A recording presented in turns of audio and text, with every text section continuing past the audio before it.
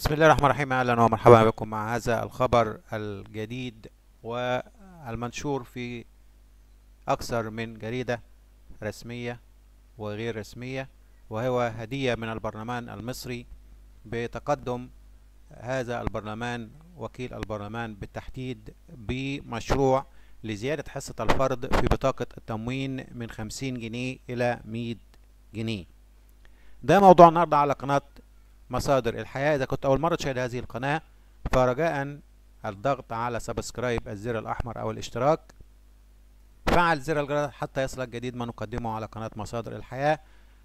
قناة مصادر الحياة تهتم بما هو يهم حياتنا في شتى المجالات وفي شتى المواضيع. إذا عجبك فيديوهاتنا لا تبخل علينا ب like share ولا تنسانا من الدعاء. بالتوفيق. كي نستمر في تقديم هذه الخدمة على قناتنا. والموضوع كما هو منشور بأنه تقدم تقدم وكيل مجلس النواب باقتراح برغبة لمجلس النواب من أجل رفع قيمة ما يستحقه الفرد من في بطاقة التموين من 50 جنيه للفرد إلى 100 جنيه. ذلك بيتم بعد التواصل مع الحكومة والجهات المعنية وتوفير الاعتماد اللازم. مؤكدا أن مشروع القانون سيكون هدية من البرلمان للشعب المصري العظيم. والنائب سليمان وهدان وكيل مجلس النواب تقدم بهذا الاقتراح من أجل رفع ما يستحقه الفرد من 50 إلى 100 جنيه.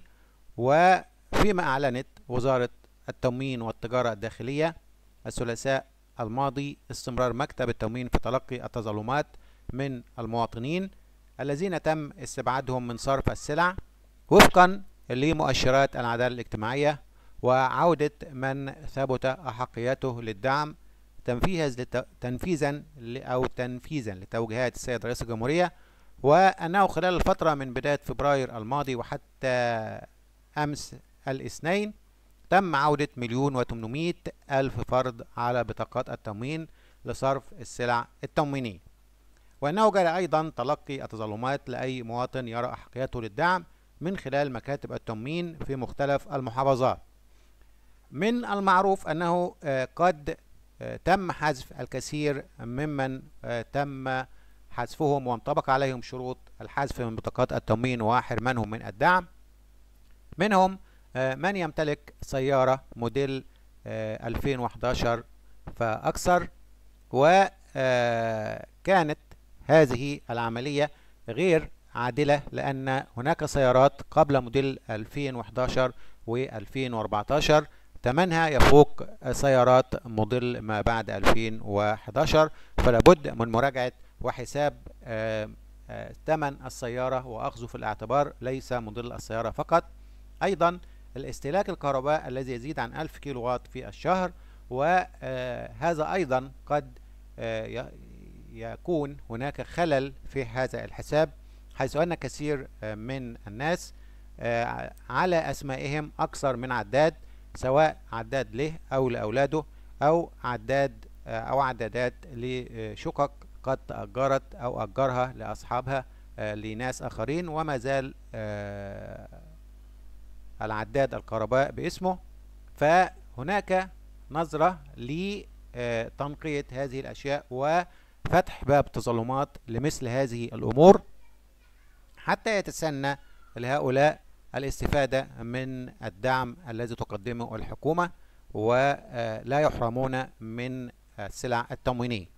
علما بأن الجميع لن يحرم من من استحقاقه في الخبز فالجميع سوف يصرف له الخبز على بطاقات التموين.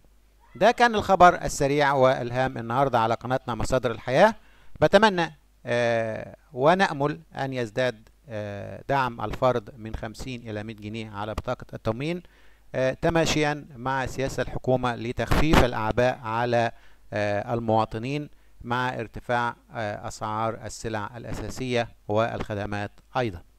في النهاية بتمنى للجميع أن يدعمونا ب like share وأيضا لا تبخل علينا بالاشتراك في القناة دعما منك لهذه القناة. وفي النهاية بنتمنى للجميع التوفيق والسعادة والسلامة. وهيا بنا نحيا الحياة مع قناة مصادر الحياة بالأمل والتفاؤل. ونتمنى لمصر الأمن والأمان. اللهم احفظ مصر أرضا وسماء وشعبا. وإلى أن ألقاكم في فيديو آخر السلام عليكم ورحمة الله وبركاته.